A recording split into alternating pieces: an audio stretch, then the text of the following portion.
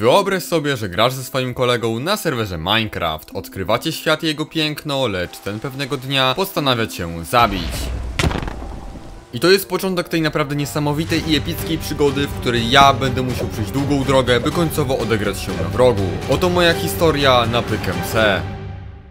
Więc na moim celowniku znalazł się gracz Szklany Butelka 13. Jest on posiadaczem legendarnego seta, który jest najmocniejszą zbroją na pyku. Ale co ważniejsze, posiada on możliwy do zdobycia w wielkanocnym evencie zajęczy miecz, który aktualnie jest na serwerze najpotężniejszą bronią. Trzymając ją w ręce dostaje się efekt szybkości 1 oraz nigdy nie odczujemy głodu. Na ten moment porównując nasze sytuacje nie miałbym z nim żadnych szans, lecz mimo to zamierzam się na nim odegrać. Abym miał jakiś czas na przygotowanie zaproponowałem termin walki za tydzień, a z racji, że znajduję się na serwerze, na którym dziennie grają tysiące graczy, to nie mogę podejść do tego bez żadnego planu. Dlatego chcę przedstawić wam zamysł, jak krok po kroku odegram się na szklanym. Więc po analizie mojego wroga, aby mieć jakiekolwiek szanse w walce 1 na 1, będę potrzebował całej legendarnej zbroi, miecza zajączkowego, który na rynku chodzi po 200 tysięcy dolarów, maksymalnej ilości serc, bo tyle posiada szklana butelka, wszystkie legendarne zwoje, talizmany i wiele, wiele więcej. Wymieniłem teraz wszystkie itemy, które są mi potrzebne do pokonania go, lecz aby osiągnięcie tego wszystkiego było możliwe, moim pierwszym zadaniem będzie wybudowanie bazy oraz odzyskanie tego, co posiadałem dotychczas. Dobra, więc sprawdźmy Ender Chesta i... Nie, no jakieś resztki zostały. 8 kobłębów, kilo w 3-3 i dwie perły. Może najpierw postaram się to wystawić na rynek. No to takie 2100 dolarów. No i w sumie mogę iść na RTP nakopać trochę itemów. Podczas kopania zauważyłem, że najbardziej opłaca się kopać węgiel, który kosztuje 15 centów za sztukę oraz żelazo, które kosztuje 17 centów za sztukę. Dlatego kopałem do czasu, aż ktoś zakupił moje perły z rynku, dzięki czemu mogłem pozwolić sobie na zakup pierwszych przedmiotów. Więc dobra, może po prostu przejdźmy do zakupu tych itemów. Zobaczę, czy mi na wszystko wystarczy.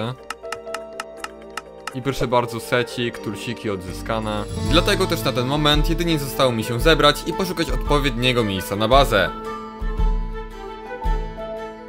W ogóle jak tak sobie biegłem, to wszędzie widziałem masę grifu i pozostałości po wielu epickich walkach, które z pewnością zapisały się w historii serwera i wtedy naszła mnie taka myśl, że być może i moja walka przejdzie do legendy, lecz te myśli przerwał mi Ej, co jest? Chłop jest! Ej, mam go, mam go! Jest! Nice! I mam 10 serc znowu. A gdy znalazłem odpowiedni teren, wybudowałem ogromny sub z dirta, na którym postawiłem swoją farmę. No na razie jest mała, ale wkrótce miało się to zmienić. Dla odmiany chodziłem na RTP, aby poszukać potrzebnych surowców do rozwoju bazy. I tak przypadkiem znalazłem kolejnego gościa. Kolejny gość, pyk, pyk, pyk, pyk, pyk, pyk. Dobra, dobra, jest, nice. I w sumie to nie wiem dlaczego tak się ucieszyłem, bo ten gościu jedynie w swoim ekwipunku miał jakiś syf. Ale dalej, będąc chętny pozyskania łatwych zabójstw, podróżowałem przez świat. I serio, nie wiem jakim cudem, ale dosłownie kilkaset bloków dalej napotkałem kolejnego gościa. Co jest kolejny ziomek? Dobra, dobra. Pozoru wydawał się na awka, lecz okazało się, że jest on całkiem nieźle wystakowany. Dobra. Nie, on koksa ma. Dobra, nie, nie, nie, nie, nie. Cofam się, cofam się. Na moje szczęście udało mi się wyjść z tego cało i dlatego również postanowiłem wrócić do bazy. A tam wpadłem na pewien pomysł, aby lekko nadać uroku mojej siedzibie, dobudowując do niej domek.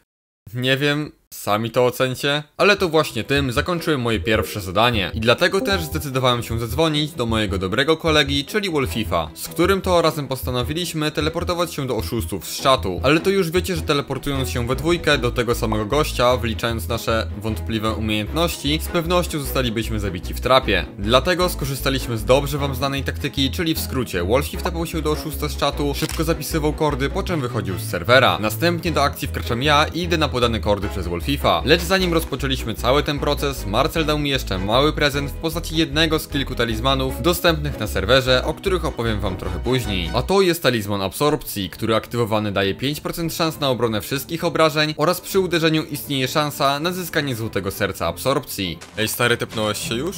Tak, stary, już usiadłem, teraz sprawdzę na modzie, gdzie jest ta baza cała. I niestety nie wszystko poszło po naszej myśli. Wolfie przypadkiem wylogował się, kiedy został uderzony, więc stracił wszystkie itemy oraz serce. Lecz nie był to większy kłopot, bo Wolfie ma rangę MVP, która pozwala mu odebrać raz na 24 godziny najlepszą diamentową zbroję. Dlatego po chwili ruszyliśmy prosto do oszustów, przy okazji znajdując jakieś itemy dryfujące na morzu. Typo!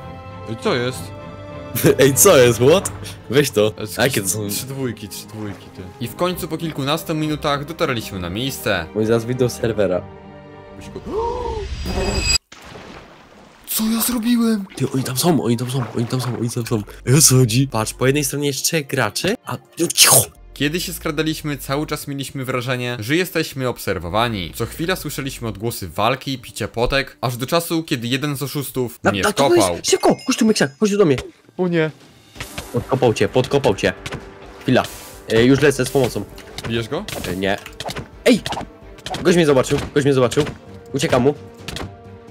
I stała się najgorsza rzecz. Ja i Wolfie zostaliśmy rozdzieleni. Kiedy miał mi już pomóc, wleciał w niego kolega mojego przeciwnika. Na moje szczęście po krótkiej potyczce udało mi się zgubić mojego oponenta, lecz tyle szczęścia niestety nie miał Wolfie i po naprawdę długiej gonitwie poległ. A z racji, że było już całkiem późno, Wolfif postanowił zakończyć grę na dzisiaj, a ja zdecydowałem się jeszcze chwilę pograć. I przypomniałem sobie o wcześniej zdobytym kluczu ze strefy AWK, więc otworzyłem skrzynię, z której wydropiłem perły. Po wystawieniu ich na rynek minęła zaledwie chwila, kiedy ktoś je zakupił. Później postanowiłem pozarabiać na mojej farmie trzciny, lecz zauważyłem, że jest to nie no, ta trzcina tak się nie opłaca, ona w ogóle tak wolno rośnie, tak mało się z tego zarabia. To muszę naprawdę wymyślić coś mocnego i co da mi naprawdę sporo pieniędzy, no bo, no kurczę, no tak nie może być. I po tych słowach postanowiłem zakończyć grę na dzisiaj. Więc zobaczmy sobie codzienną nagrodę i totem nieśmiertelności. W sumie to mogę go sobie zachować, bo zaraz wam zamierzam coś przedstawić. I w tej chwili zdecydowałem się wszystko postawić na jedną kartę. Poszedłem na RTP, wybudowałem trapa i postanowiłem wabić ludzi, nakłaniając ich wiadomościami takimi jak kto chce darmowe itemy TPA. Czekałem do czasu, aż dostałem prośbę o teleportację od pierwszego gracza. Dobra, tepa się jakiś ziomek. Drasins, okej, akceptuję. I... Dobra. O kurde. O nie, nie, nie, nie, nie, nie, nie. Dobra, zablokował dziurę. Dobra, walę go, walę go. Dobra, dostał jakąś strefkę. Na pierwszy rzut oka wyglądało na to, że mam przewagę. I tak faktycznie było, dopóki ten gracz nie zaczął kopać się w ziemię. Chciwy zabójstwa skoczyłem za nim, lecz nie wiedziałem, że był to podstęp. Okazało się, że ten gracz również posiadał dripstone i końcowo to on wyszedł zwycięsko z tej walki. Nie.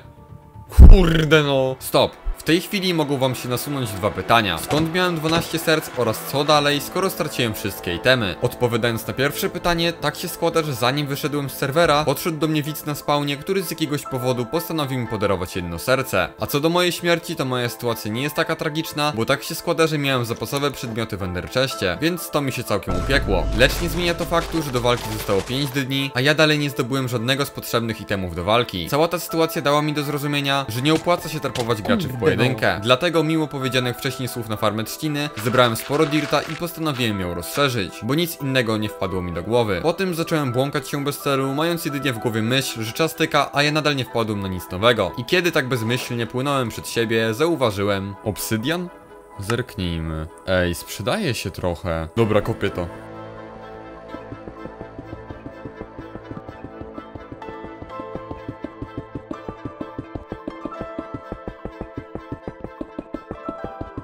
Kiedy skopałem Griff, wystawiłem cały stak na rynek i popłynąłem szukać kolejnych obsydianowych wykopalisk. Po chwili wcześniej wystawiony obsydian się sprzedał, więc wiedziałem, że w tej chwili jedyną rzeczą, która mogłaby zwiększyć mój zarobek jest legendarny kilof, który jest najlepszym kilofem na pyku. Najtańszy kosztował na rynku jakieś 12 tysięcy, więc brakowało mi jeszcze całkiem sporo kasy. Dlatego dalej powtarzałem ową czynność, aż zauważyłem wiadomość gracza na czacie o treści zakupię serce za 900 dolarów. W tej chwili zaświeciły mi się oczy i od razu napisałem, że ja mu je sprzedam. I dzięki tej transakcji mocno zbliżyłem się do legendarnego kilofa. Dlatego też przez dłuższy czas nie robiłem nic innego niż analizowanie cen obsydianu i skopywaniem go z mapy. Aż do momentu, kiedy uzbierałem potrzebną kwotę. O, sprzedał się właśnie ostatni obsydian. Dobra, czy jest kilof? Okej, jeszcze jest kilof, kupujemy.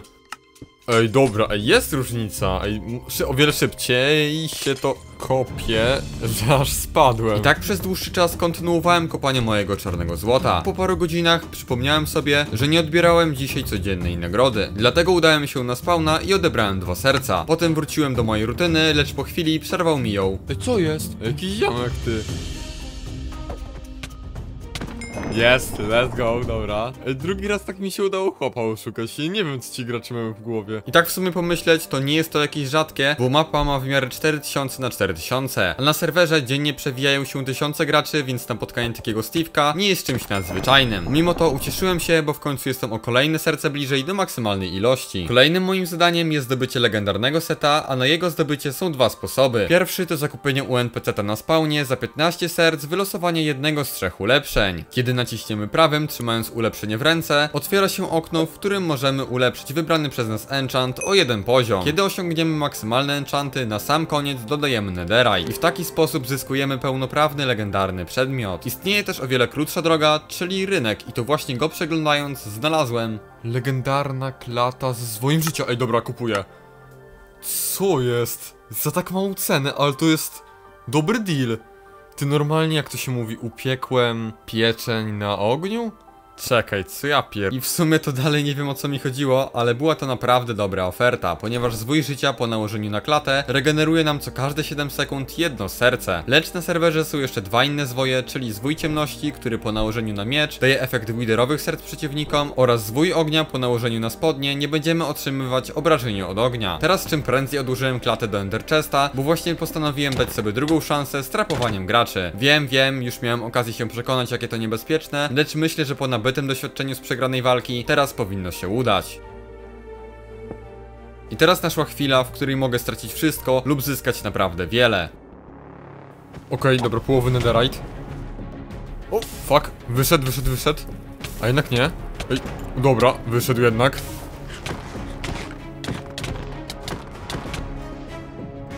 O, kobłeb! Dobra, nie, dobra, nie, nie udało mu się. Szybka strefka, o, okej. O, o, o, o, o. Szybki gap. Dobra, jest git. Dobra, idziemy na wymianę, na wymianę. Gapik. Y, Dobra, sa, sa, Saturn, Saturnacja, szybko.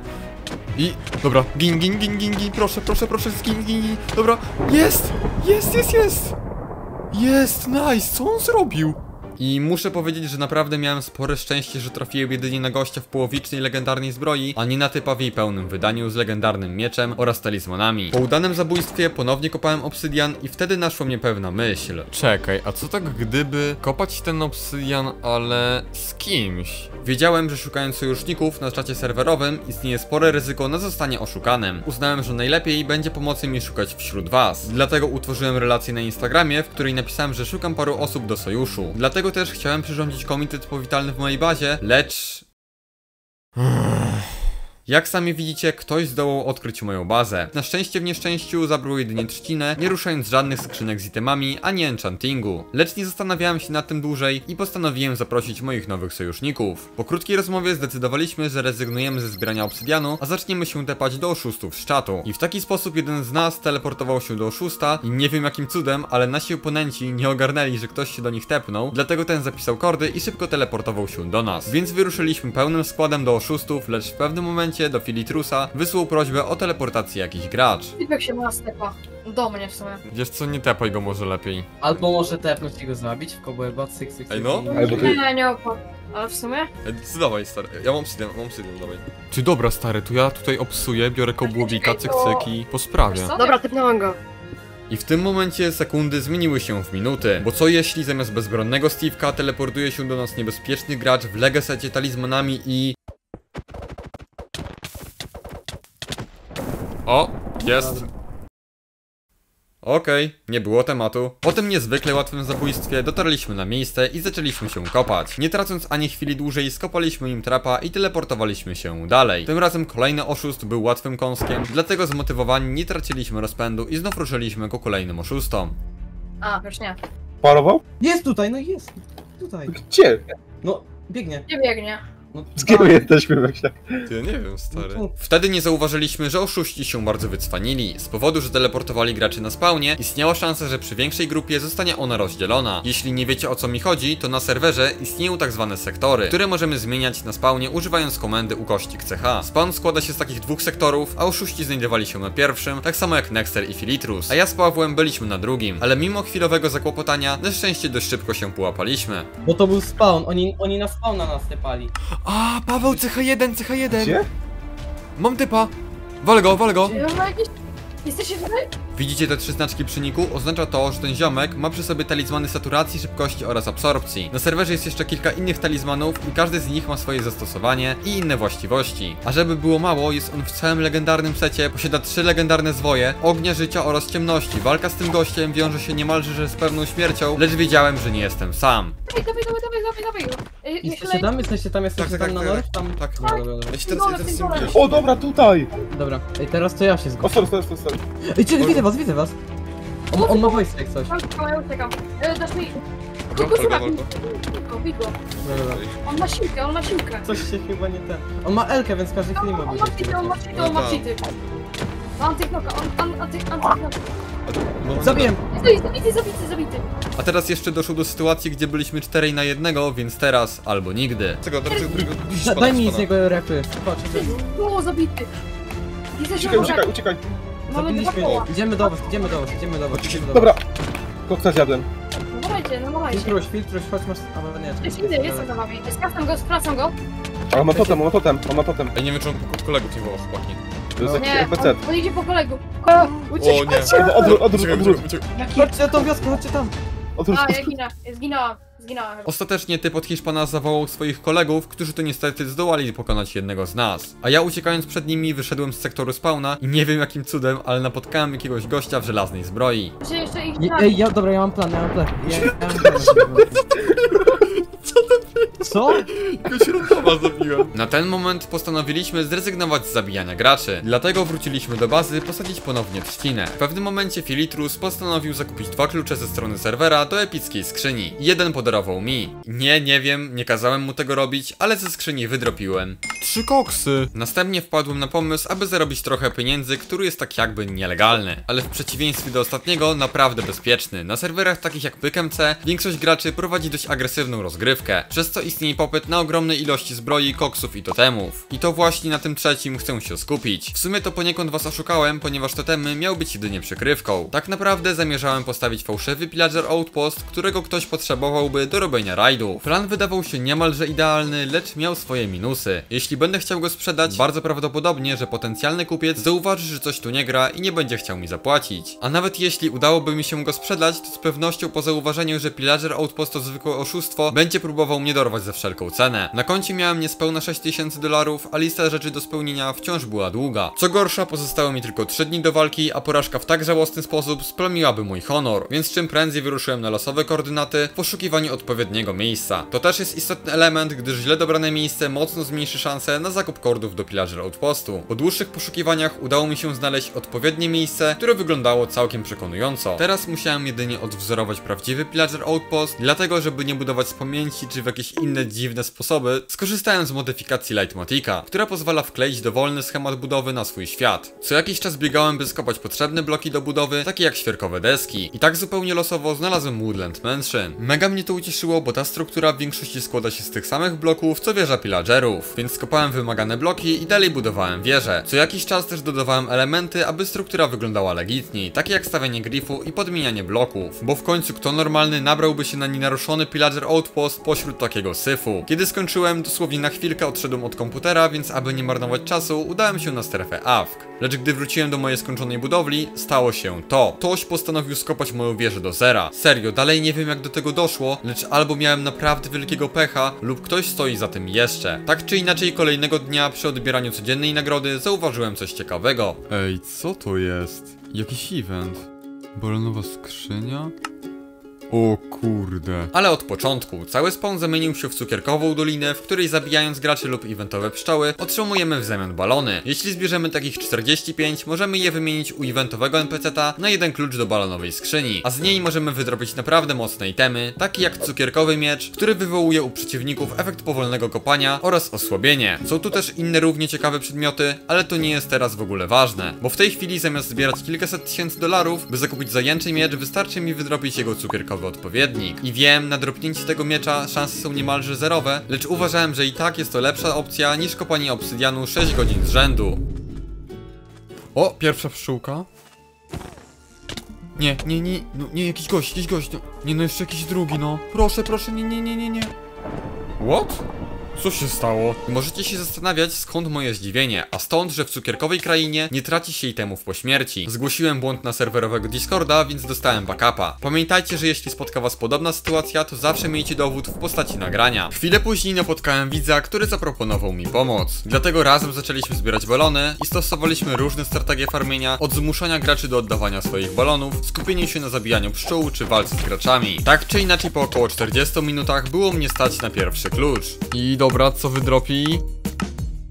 Legendarny miecz, no... Muszę przyznać, że nie był to najlepszy drop, ale za to kolejna tura wyszło całkiem gładko. W międzyczasie wyhaczyłem dobrą ofertę legendarnych butów, przez co wykonałem kolejne zadanie, czyli zdobycie całej legendarnej zbroi. Potem po raz drugi otworzyłem balonową skrzynię i ponownie nie miałem szczęścia. Zdecydowałem się zadzwonić do mojej marchewkowej ekipy i razem zabijaliśmy graczy na strefie PvP.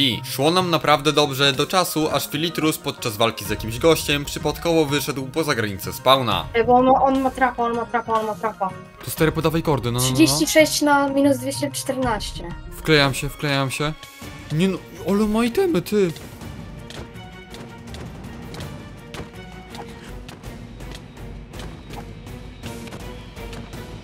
Nie, nie, nie, nie, nie, nie, nie, nie, nie. Fuck! Straciłem wszystko. No myślę, że mogę jeszcze pozarabiać trochę na evencie. O, pszczółka. No i szybciutko lecimy do Ender Chestu, odkładamy i, i będę powtarzał to po prostu, aż nie będzie mnie stać na klucz do balonowej skrzynki. I teraz zmieniłem się w totalnego psychola i przez następne godziny farmiłem balony. Kolejny drop to legę spodnie. O, nie. Ale już po kolejnej turze zbierania... Proszę, proszę. Co jest za jęczy miecz? Co ja gadam? Cukierkowy, cu cukierkowy miecz, what? Miałem naprawdę spore szczęście, bo szansa na drop tego miecza wynosi 1,1%. Teraz naprawdę będzie z górki. Zauważyłem, że dużo graczy sprzedaje balony w cenie od 200 do 300 dolarów, więc sprzedałem uzbierane wcześniej balony i dokupiłem brakujące części seta. Następnie zbierałem balony i znów otworzyłem skrzynię, z której wypadł mi zwój ognia. Na serwerze jest jeszcze jeden sposób, by zdobyć takowy zwój, a są nimi skrzynie za serca, do której klucz zakupimy u NPC-ta na spawnie za 50 serc. Kolejne dwie skrzynie przyniosły mi 16 koksów oraz Księga na MVP-a, która jak się okazała kosztuje od 170 tysięcy do 200 za sztukę. Początkowo próbowałem go sprzedać, lecz szybko dostałem propozycję wymiany książki za elytrę, więc się zgodziłem. Dzięki elytrze balony zbierało się tak jakby z 3 razy szybciej, przez co otwierając kolejną skrzynię wydropiłem stack serc. Natychmiast dodałem sobie maksymalną ilość, wykonując tym kolejne zadanie, a resztę przeznaczyłem na zakup ostrzałek, bo dzięki nim możemy zwiększyć damage miecza. Dla przykładu poziom pierwszy zwiększa obrażenia zaledwie o 5%, ale za to poziom 10 zwiększa je o 50%. Mi całkiem się przyfarciło, bo wylosowałem na ostrzenie poziomu 7. Ej, nice! Level 7. Ej, w ogóle to jakieś balony są. E, tu nie ma pszczół. Czekaj. E, co? What? Napisał coś mi na Discorda. I było to bardzo dziwne. Chciałem się dowiedzieć, czy udało mu się zdobyć cukierkowy miecz. Lecz ten totalnie zlał moją wiadomość i zaczął mi spamić jakimiś dziwnymi gifami. Napisał tylko, że jutro zostanę pokonany. A tak serio, to napisał to. Tak czy inaczej nie chciało mi się już z nim pisać, bo wolałem się skupić na dokończaniu ostatecznych przygotowań do wielkiej bitwy pomiędzy mną a szklaną butelką. Między mieczem cukierkowym a zajęczym. Między dobrem a złem. Dobra, może trochę przesadziłem, ale tak czy inaczej dokupiłem ostatnie brakujące itemy i pozostało mi tylko poczekać. Dobra, to jest jeszcze... Okej, to chyba gdzieś jest niedaleko. Lądujemy. Oho, jest, jest koleżka, dobra. Szybko klata i... Okej. Pyk, pyk. Pyk, pyk. Pyk, o, dobra. Wymiana równo. No dobra, jest na razie całkiem git, jest, jest git. Dobra, myślę, że to jest walka, w której komu szybciej padnie set po prostu. Dobra, zjadł, zjadł coś tam chyba, chyba go, nie, zjadł, zjadł refila, zjadł refila. Dobra, ja teraz jem. Okej, mięsko, szybko, szybko, szybko. Okej, walę go dalej. E, banie zmienił, banie zmienił, czekaj. No kurde, już set zaczyna padać, no. Aj, o, dużo bije strasznie, no, mega dużo bije. Dobra, ucieka, ucieka, ucieka, ucieka. Ej, no co on robi? Ej, on, on ucieka mi. Co jest? On mi ucieka, no. Ej, no nie uciekaj, gościu. Dobra, koks. Nie no, co on robi w ogóle? Nie, nie wiem co on robi, nie? On, on nie docenił mnie chyba, nie? Ej, wpadł. Ej, to nie jest pułapka, kurde? Dobra, skoczę tam, wale, jolo, jolo. Dobra, nie, nie, nie, nie, to, to chyba nie była pułapka. Dobra. Klata mu padła, dobra, szybko. No nie, no ucieka mi, ucieka mi. Nie, zgubię go. Kurde, kilof mi jeszcze. Shit. Nie, nie, nie, nie, nie, nie, nie mogę mu pozwolić uciec, nie mogę mu uciec. Dobra, mam go, mam go. Dobra. Proszę, proszę, proszę, gin, gin, gin, gin, gin. Bania upadła, bania upadła, no. No nie! No co on robi, no? Co on robi? Ja pierdzielę. No nie no, gdzie on jest, no? Boże, no co ja robię? Co ja robię? Proszę, proszę, proszę, szybko, szybko, szybko, szybko. Mam go, mam, mam, mam, mam, mam. Giniesz, to wszystko. To gościu za to, że mnie oszukałeś. Gin, gin, gin, gin. Totem, totem upadł. Już, już, już, już, już. Ginus, gin. Jest! Jest! Zabiłem go! Szklana butelka. Zajęczy miecz. A jeśli ty chcesz przeżyć podobną przygodę do mojej, to koniecznie wbijaj na pykemce.pl